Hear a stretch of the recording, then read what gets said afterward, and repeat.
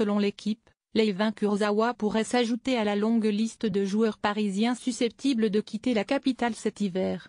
La concurrence de Yuri Berchiche, de plus en plus convaincant, pourrait faire vaciller la hiérarchie des latéraux, alors que Paris a besoin de dégraisser son effectif. Le PSG a besoin de dégraisser.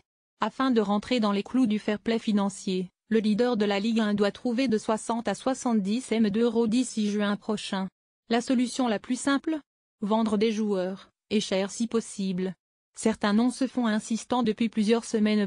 On y trouve notamment les indésirables, cantonnés au bout du banc ou exilés en Angleterre à Ben Arfa, Gizé, Grzegorz ou Krikouyak prêtés respectivement à Stock et West Brom ou encore Lucas.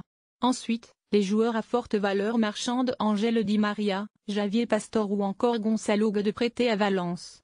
Trouver 70 M uniquement avec ces joueurs-là, on parle d'une offre de 30 M pour Gude, est faisable, mais semble compliqué si le PSG veut garder certains atouts sur le banc. Point pousse la porte à un nouveau nom c'est donc immiscé dans la valse des départs du PSG Leivan Kurzawa Apprécié dans le vestiaire, le latéral gauche ne fait pas figure de cible privilégiée de départ par les Parisiens. Mais la concurrence grandissante de Yuri Berchiche dans le couloir gauche sème le doute dans la tête du Emery. Selon l'équipe, l'Espagnol offrirait plus de garanties défensives que Kurzawa, qui laisse fréquemment des trous d'air derrière lui. Si un départ de Kurzawa cet hiver semble prématuré et pourrait déséquilibrer l'équilibre parisien, la montée en puissance de Berchiche, les matchs manqués par l'ancien monégasque 9 matchs et l'un joué cette saison pourraient agir comme une sonnette d'alarme pour Kurzawa l'été prochain.